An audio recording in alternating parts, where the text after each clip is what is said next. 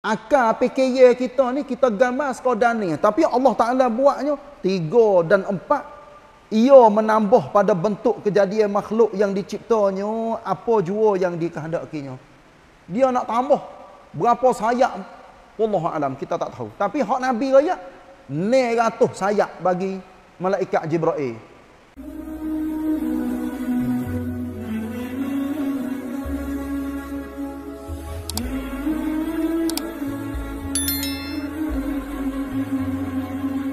بسم الله الرحمن الرحيم الحمد لله رب العالمين والصلاة والسلام على رسول الله صلى الله عليه وسلم وعلى آله وصحبه أجمعين أما بعد مقدمة سورة فاطر dalam pimpinan Ar-Rahman muka 930 HP surah ini diturunkan di Makkah mengandungi 45 ayat dinamakan surah Fatir. Artinya pencipta. Pencipta ni iaitu Allah lah.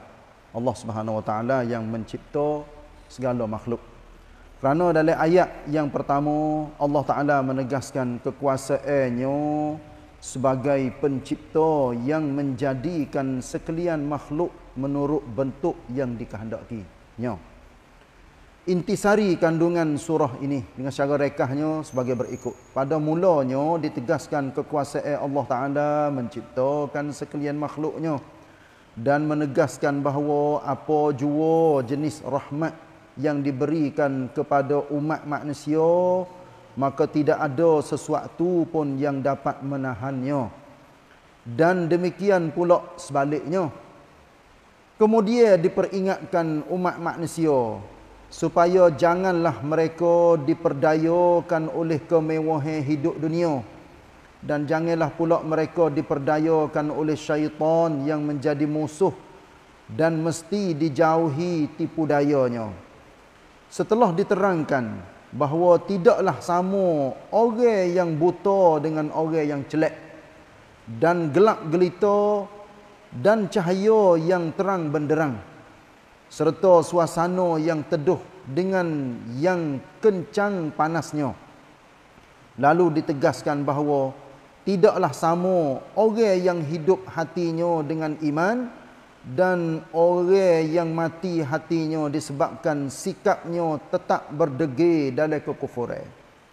Kemudian Allah Taala menerangkan bahawa ia jadikan Al-Quran itu diwarisi oleh orang-orang yang dipilihnya dari kalangan hamba-hambanya maka di antara mereka ada yang berlaku zalim kepada dirinya sendiri dengan tidak mengindahkan ajaran Al-Quran. Ini ha, pesaing manusia lah. dan di antaranya ada yang bersikap sederhana. Dan di antaranya pula ada yang mendahului orang lain dalam berbuat kebajikan dengan izin Allah. Ini ha, orang yang suka dulu buat kebaikan dalam kehidupan dia. Setelah itu dikemukakan satu pernyataan yang berupa amaran kepada golongan yang masih berdegil dalam keingkar dalam keingkarannya dalam keingkaran dan kekufurannya.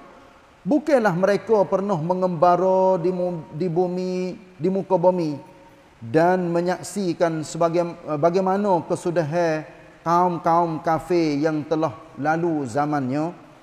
Surah ini diakhiri dengan menegaskan bahawa kalaulah Allah Subhanahu wa taala mengirakan kesalahan manusia serta menyeksakan mereka terus disebabkan amal-amal jahat yang mereka telah kerjakan tentulah ia tidak membiarkan tinggal di muka bumi sesuatu makhluk pun.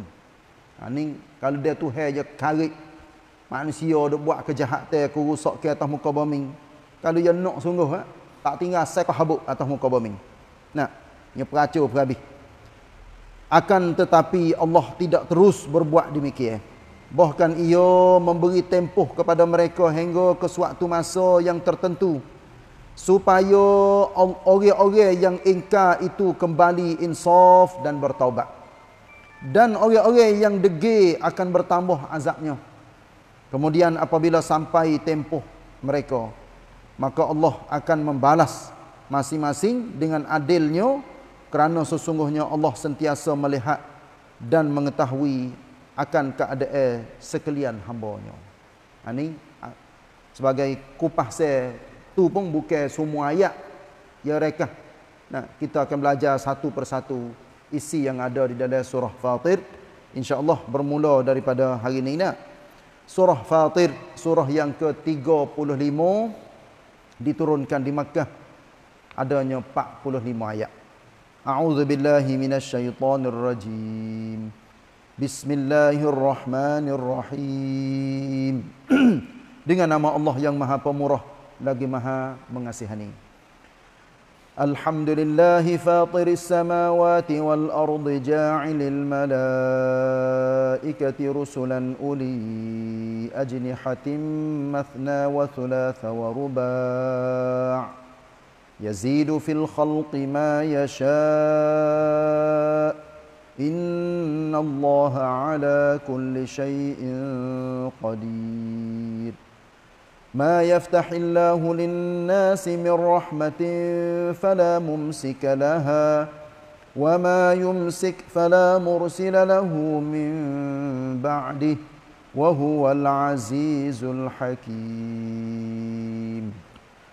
Maksudnya sekalian puji tertentu bagi Allah yang menciptakan langit dan bumi yang menjadikan malaikat utusan-utusan yang bersayap dua, tiga dan empat.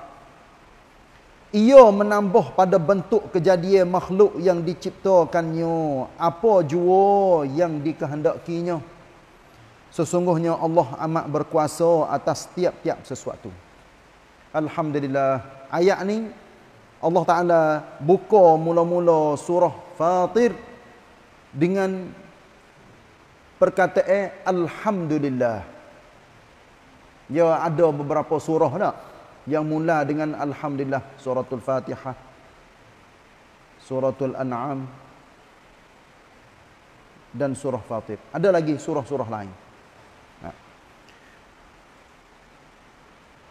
Allah rayak ha makhluk dia. Dialah yang menciptakan makhluk.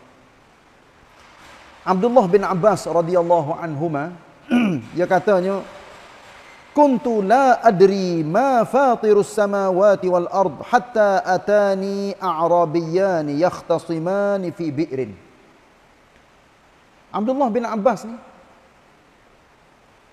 Nabi berdoa kepada dia supaya dia ni reti Quran isi kandungan Quran tapi dia tak reti perkataan fatir Padahal bahasa Arab dah. Kalau kira eh ya tak tak tahu ke? Bukan ya tak tahu. Fatir artinya pencipta. Tuhan yang mencipta segala semua makhluk. Tapi ya rakyat katanya dia boleh kamtop perkataan fatir daripada dua orang Arab yang duk mari baloh, mari duk tekan, mari gotu, mari goni depan dia. Lalu itulah Orang Arab tu duduk kecek-kecek. Ha apa? Ha telaga. Ha telaga. Faqala ahaduhuma li sahibi. Ana faradtuha ay bada'tuha. Orang Arab Badawi dua orang tu. Seorang dia kecek. Dia katanya akulah orang mula-mula buat telaga tu. Pahmu nak kata ke mana? Ha, tenang ayat katanya, tekan di antara dua orang orang Arab, Abdullah bin Abbas duduk depan, dia reti. Perkataan orang Arab tu duduk kecek. Ana badak Tuhan. Akulah orang mula-mula gali telaga ni. Fahmu nak kata lagu mana? Qala Ibn Abbas radhiyallahu anhuma aidan fatiris samawati wal ard ay badi'us samawati wal ard perkataan yang ada di dalam Quran bad, apa ni? Fatiris samawati wal ard artinya Allah Taala lah yang merekokan kejadian langit dan bumi dengan tidak ada contoh sebelum pada tu. Maknanya tak ada lagi makhluk hak serupa dengan langit bumi belum pada ada langit bumi Allah lah yang mereka-rekokan badi' badi' artinya yang mereka sebab tu orang duk reka dalam hak agama dia panggil bid'ah. Duk reka-reka, benar tu benar tak ada pada asal, tapi dia fikir dia nampak molek. Itulah dinamakan bid'ah. Tapi orang ataupun bukan orang dak ni, Allah yang merekakan kejadian dia, maknanya dia buat dengan tidak ada contoh sebelum pada tu. Berkata Ad-Dhahhak, Kullu syai'in fil Qur'an fatirus fatirus samawati wal ard fa huwa khaliqus samawati wal ard. Berkata Ad-Dhahhak Orang zaman tabi'in dulu, dia katanya semua tiap-tiap kara yang Allah Taala raya fatir fatiris samawati wal ard, iaitu Allah lah yang menciptakan langit semua dan bumi ni adalah maksud dia khaliqus samawati wal ard. Khaliq artinya pencipta. Ha tu. Bahasa Melayu kita kapal-kapung pak kita je panggil buat. Allah Taala buat langit, buat bumi. Buat gotu, buat goni. Ha tu artinya cipta. Ha tu. Alhamdulillah. Nah. Allah ayat lagi iaitu dialah yang menjadikan malaikat sebagai rasul-rasul. Rasul lagu mana? Ada sebahagian malaikat hak kita duk bila, budak-budak duk bila dalam sekolah tadika. Jibril, Mikail, Israfil, Izrail duk bila so so so so mungkin nakik Ridwan gitu. 10 malaikat. Tu ada tersebut di dalam Quran dan ada sebut di dalam hadis. Ha. Gitulah. Jadi Hana di sini katanya malaikat-malaikat yang sangat banyak. Adanya sebahagian malaikat yang tak serupa Allah Taala buat. Iaitu apa? Sayap dia banyak. Gambar katanya sayap eh serupa dengan burung apa? Tak. Dia bukan burung. Ha. dia satu makhluk yang Allah Taala buat khoh pesaing tu. Tino pun tak jatuh pun tak pesaing sayap bersayap lepas tu orang-orang zaman jahiliyah dulu ia percaya katanya malaikat ni adalah anak Allah. Anak tino Allah. Hatulah. Banyak-banyak ayat di dalam Quran yang Allah Ta'ala raya. Akidah jahiliyah dulu adalah akidah yang salah. Yang Allah Ta'ala batalkan akidah mereka tak siwi ada dah atas muka dunia. Tapi ada lagi. Orang pada zaman sekarang ni, dia ada lagi sisa-sisa yang panggil set. Hak duduk percaya kepada syaitan, malaikat, bulan, matahari, bintang, gotu, goni, gotu, goni. Banyak. Allah jadikan malaikat apa? Utusan-utusan yang bersayap. Maknanya rasul-rasul seperti mana Jibril, Nabi biasa tengok dia, iaitu banyak mana sayap dia. Pada malam Isra' dan Mi'raj, Rasulullah sallallahu alaihi wasallam melihat malaikat Jibril ni ratus sayap. Masya Allah. Ni tengok tua cing yang Jibril tunjuk tubuh dia yang sebenar. Setiap sayap tu jauhnya supaya dengan matahari naik, matahari jatuh. Oh. Bombing dah. Tu so-so sayap rawang so dengan dua Lepas tu ratus sayap. Masya Allah. Banyak. Ini ha, nak ayat katanya. Jibra'il yang Allah Ta'ala buat. Macam tu. Lepas tu Allah rayak lagi. Hak ada dalam ni tak? Dalam, dalam Quran ni sayap ni. Dua. Galiknya. Dua lah sayap kiri kanan. Lepas tu tiga. Ha, tiga ni kita tak gambar. Katanya kiri kanan. Lepas tengah kau ke depan ke belakang kau. Allah Alam kita tak tahu. Tengok. Ha malaikat lagi kita tak tahu. Apa tahu lagi hak Allah Taala. Kita duk gambar katanya ada-ada sayap, kita tengok sayap burung.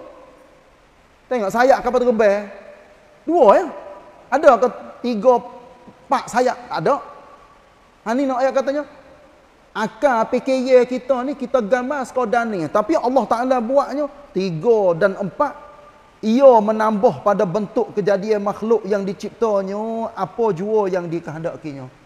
Dia nak tambah Berapa sayap? Allah alam kita tak tahu. Tapi hak Nabi raya 900 sayap bagi malaikat Jibril.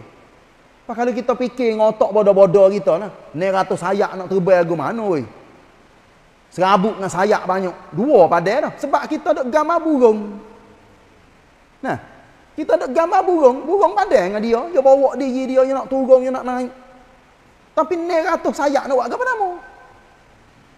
Tapi Allah tak ada bui kepada Jibril. Ni, rupa yang sebenar. Lepas tu, dia jumpa dengan Nabi tiap-tiap kali. Dia pelengrang jadi seorang manusia. Tekah mula-mula tu, Nabi takut ke dia. Tapi bila lama-lama Nabi jumpa semua dia mari jumpa dengan Nabi semua jadi tak ada sebab Nabi kenal dah dia. Tekah mula-mula tu tekah di, di gua Hera tu. Nabi takut sebab duk dia malam-malam mari gak duk depan Nabi lalu. Hak tu dah Nabi ketar, Nabi kata takut. Ha gitulah. Sebagai satu ayat dah pagi hari ni, sesungguhnya Allah amat berkuasa atas tiap-tiap sesuatu. Ha ni akidah bagi setiap orang muslim Allah kudrah Allah yang adanya kekuasaan dia boleh buat semua tiap-tiap perkara mengikut kehendak dia. Alhamdulillah. Ni boleh beberapa perkara yang ada di dalam satu ayat surah awal surah Fatir. Mudah-mudahan bila kita belajar ayat-ayat Quran Allah Taala akan buka hidayah kepada kita. Nah kau tambah, kau tambahnya ini seperti mana yang kita baca Quran, kita reti isi-isi yang ada di dalamnya. Eh, sekadar ni insya-Allah pak kita sambung ayat selepas pada ni. Wallahu a'lam wa sallallahu ala nabiyyina Muhammad wa ala alihi wa sahbihi wasallam. Wassalamualaikum warahmatullahi wabarakatuh.